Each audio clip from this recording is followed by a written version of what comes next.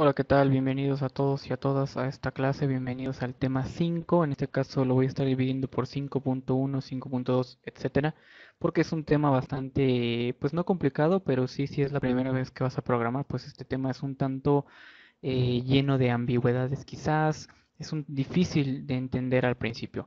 Una vez que lo entiendes, es meramente lógica y es facilísimo de aplicar, pero lo vamos a dividir en fases para no hacer videos de media hora Mejor hacemos varios videos de, 10 minutos.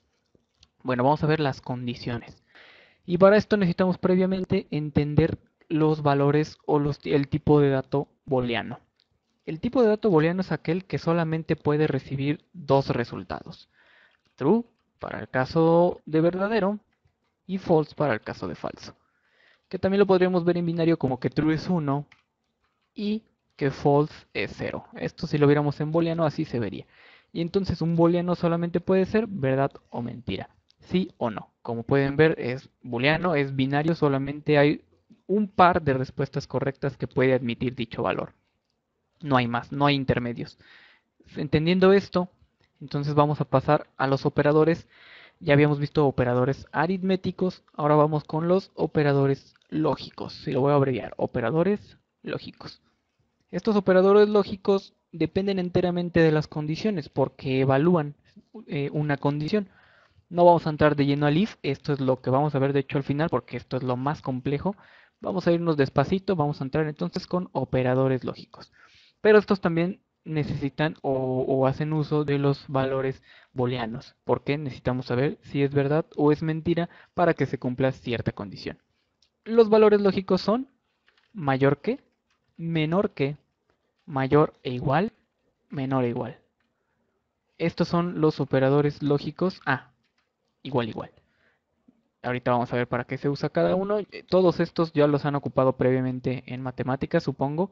Son muy fáciles de entender. Mayor que, menor, menor que, mayor igual, menor igual.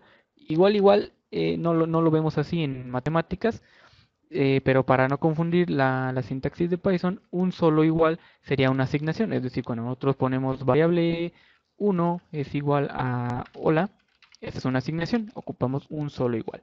Dos iguales no, es una asignación, es una eh, es un operador lógico que lo que hace es comparar lo que está a la izquierda con el elemento de la derecha y, y, retornará un valor ya sea true o false, verdadero o negativo, según sea el caso. Vamos a verlo con ejemplos para que sea muchísimo más sencillo.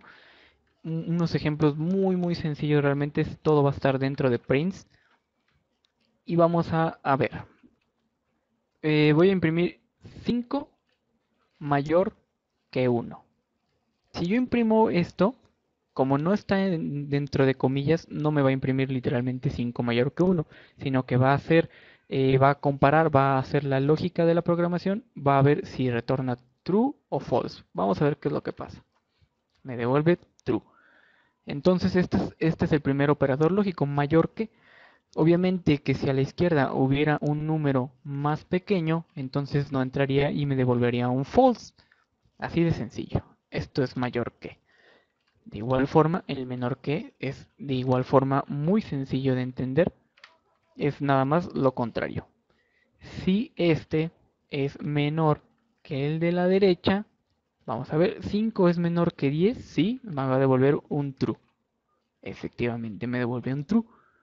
Si no fuera así, si este fuera más grande, entonces me devolvería un false, porque estoy diciendo 15 es menor que 10, se lo estoy afirmando. Pero Python lo evalúa y la lógica nos dice que 15 no es menor que 10, entonces me devuelve un false. Recordemos, false y true son eh, valores tipo de dato booleano. Muy importante que lo sepan. Ahora vamos a ver mayor o igual. Print 5 eh, es mayor o igual, mayor o igual a 10. Aquí son dos condiciones en realidad. Sería true siempre y cuando sea mayor. Si es mayor a 10, es verdad. Pero si yo pongo, vamos a poner este ejemplo. 5 es mayor a 5, vamos a ver qué nos dice. Nos dice que es falso. No es mayor a 5. Pero si es igual. Entonces evalúo con mayor o igual. Ahí sí entraría. Si 5 es mayor o igual a 5 es true. Si 5 es mayor o igual a 50, es false. Entonces, aquí es muy importante saber cuándo se usa el mayor o igual. Ocupamos mayor o igual cuando queremos que el dato sea exactamente igual a este o también admitimos que sea mayor. Y por otro lado, el menor e igual es al revés. Si admitimos que sea igual, pero también admitimos, nos da igual, quizás podemos eh, omitir, no nos interesa si es menor, también es válido. Y para eso vamos a poner un ejemplo, que 10 sea menor que 2. Bueno, vamos a poner primero el ejemplo anterior. Si 10 es menor a 10, y esto es completamente falso. No es, 10 no es menor a 10 porque de hecho son iguales.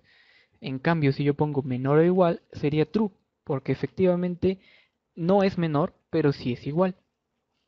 Entonces, estos de mayor, igual, menor, igual, evalúan no solo igualdades, sino que también nos permiten números mayores, en el caso del mayor igual, o números inferiores en el caso de menor igual. Y finalmente viene la igualdad. Para esto, como les había comentado, ocupamos dos eh, símbolos, dos operadores de igualdad. Podemos poner aquí un número 100, igual, igual, 100. Esto es decir, compara que ambos sean exactamente iguales y me devolverá un true siempre y cuando ambos sean exactamente iguales. Incluso si yo hago que sea eh, flotante, se sigue cumpliendo porque siguen siendo iguales, ambos siguen siendo 100. Eh, caso contrario, que si pongo 100.5, ahí sí ya no son iguales, ahí sí ya cambia la condición. Y desde luego cambiaría para cualquier valor, incluso 99.99, pues no es igual a 100, sigue siendo false. Entonces, esta es la primera parte, operadores lógicos. Eh, espero que lo hayan entendido. De cualquier duda que tengan, pues me la dejan en los comentarios y yo se los voy a estar resolviendo a la brevedad. Muchas gracias y nos vemos hasta la próxima.